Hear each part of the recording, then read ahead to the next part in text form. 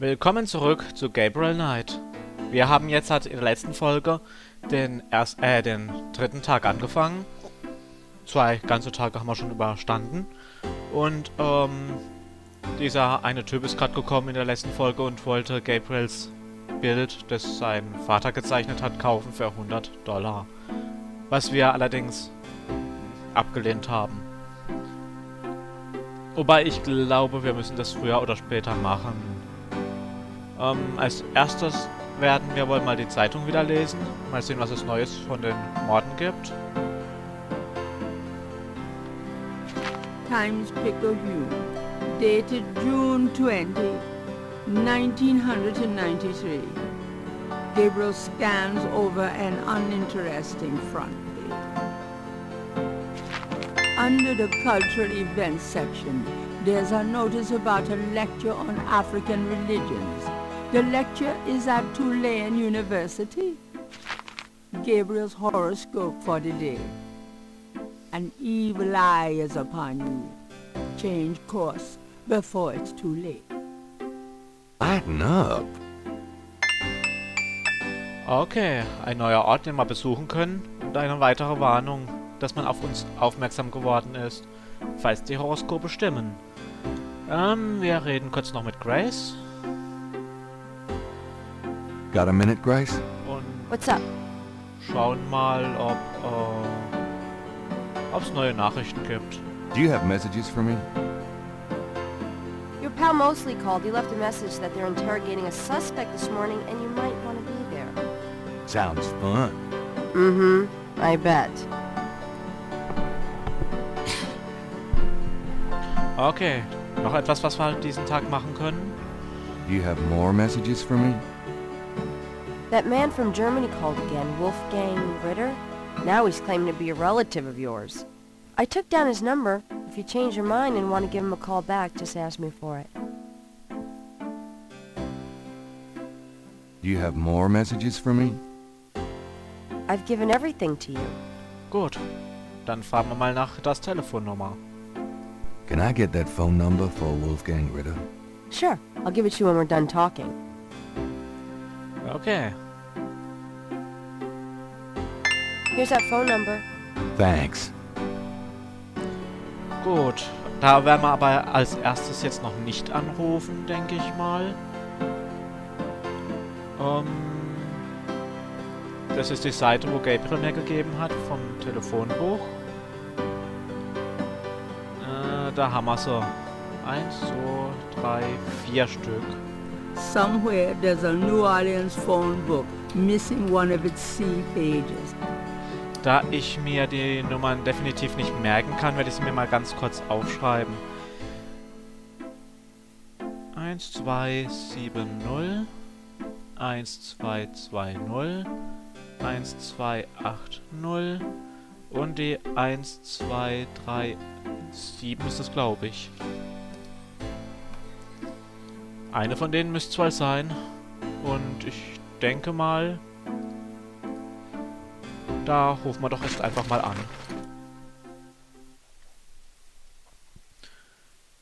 Wer hätte das gedacht? Wir brauchen das Telefon doch noch. Also 555 1270. Hello. Hi, is this the Kazanu residence? Yes. What can I do for you? Do you or does anyone in your family patronize the Dixieland drugstore? I'm a busy man. What are you selling? Nothing. Good. Goodbye. Okay. Diese Nummer war wohl definitiv schon mal falsch. There's not Dann probieren wir 1, 2, 2, 0. Hello, Casanu Residence? Hi. I was wondering if you could help me. Yeah? A woman in the Dixieland drugstore dropped her purse today, and the name Kazanu was inside it. Dixieland Drugstore? Never heard of it. Sorry. Okay, die Nummer war auch falsch. Dann probieren wir die dritte aus. Und das ist die 1280. Hello? Hello? I'm calling from the Dixieland drugstore. We have an order for you. Castro, be quiet. Who is this? I'm a friend of the owner. I'm sure I don't know what you're talking about.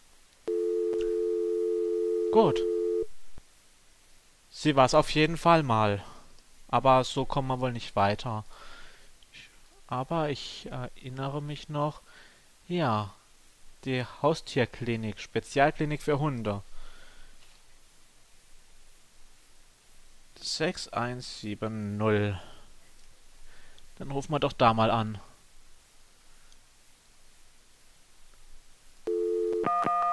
Weil wir haben ja auch einen Hund im Hintergrund gehört. Cajun Critters Animal Clinic. This is Melissa.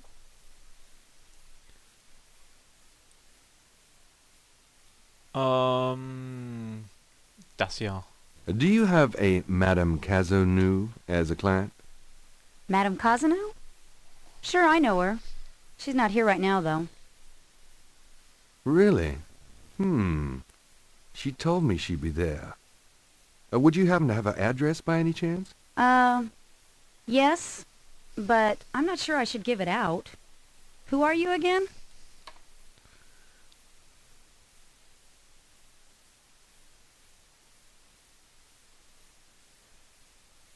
Ja, probieren wir das mal mit Castro. So hieß ja ihr Hund, wenn ich es richtig verstanden habe. I'm worried about Castro. He's missed three dance lessons. Castro? Her little doggy? Oh, he's so sweet. Well, I guess if you know Castro, it's okay. Uh, her address is 345 Dauphine. Thanks. Sehr schön.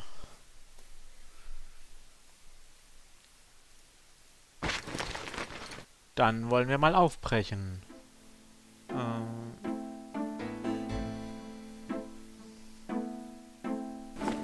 I'm going out. Good luck.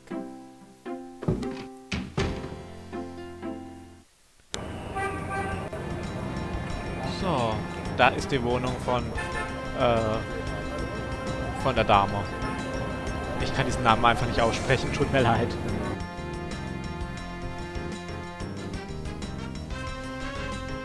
Dann lass uns mal hinfahren. Ah, ich glaube, ich erinnere mich wieder. Yes. Who is it? Das wird nicht, das bringt auch nichts. Ich denke, ich probiere mal, mal das hier. Hi, I'm doing an article on voodoo, and I heard that you... I am a good Catholic young man. Take your evil influence elsewhere. But I just have a few questions. I can feel the evil eye. Go away. Gut, das war ein ziemlicher Rausmiss. Und da erinnere ich mich noch, dass wir, dass wir katholisch, richtig heftig katholisch ist, ähm, weiterkommen, indem wir uns verkleiden. Und wenn ich mich recht erinnere, gab es die Verkleidung in der Kathedrale.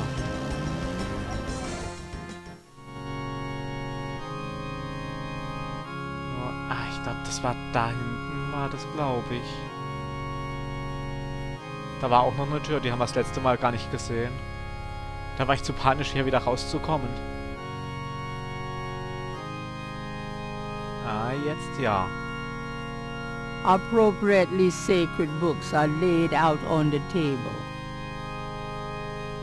This small nook must be used as a ready room for the parish priest. It's small, cool, and has a faintly institutional feel. It's a picture of Christ. A freshly starched black priest's shirt stands out against the white robes in the closet. There's a box of white priest's collars in the closet. The closet shelves are stocked with the odds and ends of a saintly life. In other words, nothing Gabriel is familiar with. Gut, dann nehmen wir mal so einen Kragen mit. Well, you never know when a priest's collar will come in handy. You've already got me. Ja, ich wollte auch nicht dich anklicken. Gabriel cannot see him. Na, dann gehen wir ganz kurz zur Seite. So, dass wir rankommen.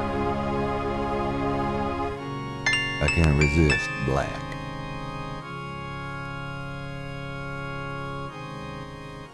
Gut. Dadurch können wir uns jetzt halt relativ gut, denke ich, verkleiden. Ah ja, den Kragen hat er schon dazu getan. Und mit so einem Priester würdest du bestimmt reden. Könnte ich mir jedenfalls gut vorstellen. Allerdings, bevor wir da hingehen, würde ich sagen, schauen wir uns diese Vorlesung vielleicht mal an. Äh, beziehungsweise, nee, wir machen noch was ganz anderes. Wir gehen in äh, den Jackson Square und schauen nach, ob der Maler unsere Zeichnung schon fertig hat.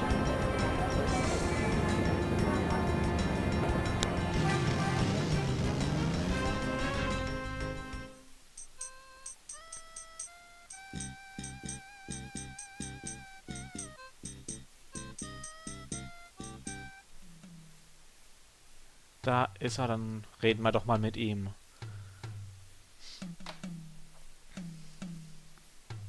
How's it going today? What? Oh, it's only you. Man, I have been jumpy all day. That, that pattern of yours really freaked me out for some reason. There's just something creepy. You finished it? Yeah, and you're welcome to it. Here. Wow, this is great. Uh-huh. Just don't, like, blow up the planet with it or something, okay? I didn't mean to upset you. Ah, forget it. I'm probably just being stupid. Do your thing with it and good luck. Gut. Ein neues Symbol. Ein fertiges Symbol. The reconstructed Veve was done for Gabriel by a technical artist. So sieht es also aus, wenn es vollständig ist. The artist's reconstruction of the voodoo murders pattern looks accurate to Gabriel. Something about it seems vaguely familiar and creepy. Kommt euch das irgendwie bekannt vor? Mir im Moment gerade nicht so wirklich, glaube ich. Okay, schauen wir mal, ob es auf den anderen Seiten noch was gibt. Oh, eine Wahrsagerin.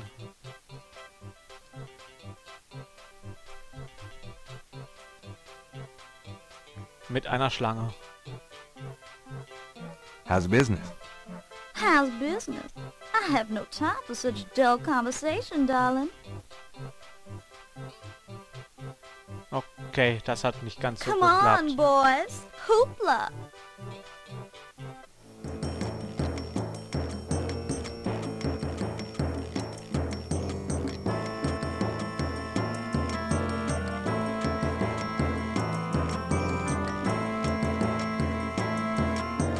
Ah,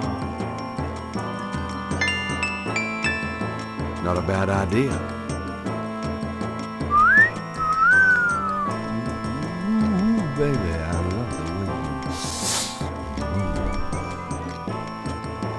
Madame Lorelei drinks no blood gave him, and pictures her hips. Yep, she wants me.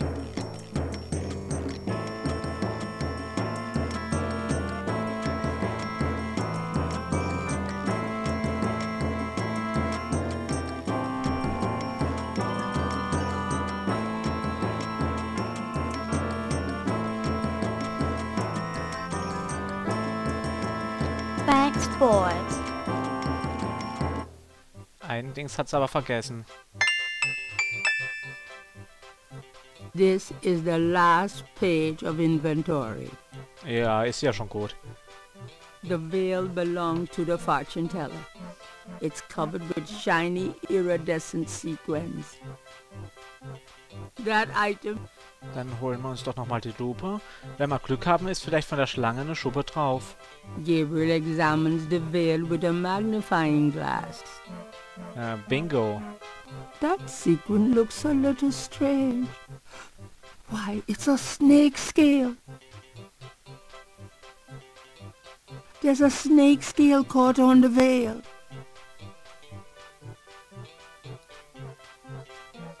The- There's a s- Äh, aber irgendwie kann ich jetzt nichts weiter mitmachen. Ob ich mit der Pinzette das Ding rauspullen kann? Gabriel carefully uses the tweezers to remove the snake scale from the veil. Das hat geklappt. Gabriel magnifies the scale from the fortune teller. The iridescent scale is hued olive green. It doesn't seem to match the scale from Lake Pontchartrain. Okay. Also wieder keine Ähnlichkeit mit der Schlange dort. Das ist auf jeden Fall schon mal gut zu wissen. Oh, mal sehen. Äh, geben wir ihr noch das Tuch wieder zurück. Falls es geht. I think this veil belongs to you. My veil! I'm always losing those things. You have no idea. Well, darling, you're such a sweetie to return a lady's delicates and so handsome as well. Well, I... And since you have such a clear interest in fortune telling, let me see your hands. They look so strong. Perhaps they will make both our fortunes clear, no? I wish something would. Hmm, strong. Yes, and uh, yet so delicate and um, flexible. You don't know the half of it. Oh, good. I see a mysterious woman in your immediate future. Madame Lorelei winks at Gabriel knowingly. She is a dangerous one, dark and beautiful. Ah, I see the road of your life forking. And very soon, The blood drains from Madame Lorelei's face in an instant. Sweat beads on her upper lip. Are you okay? Oh God, beware, beware!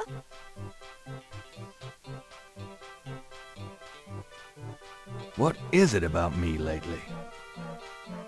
Hm. Ich schätze, das ist genau die, wo auch für die Zeitschriften die äh, Horoskope schreibt. Nichtsdestotrotz machen wir jetzt halt erstmal eine kleine Aufnahmepause. Und in der nächsten Folge geht's dann weiter. Und zwar am besten mit der Universität, hätte ich gesagt. Bis dahin, ciao, ciao.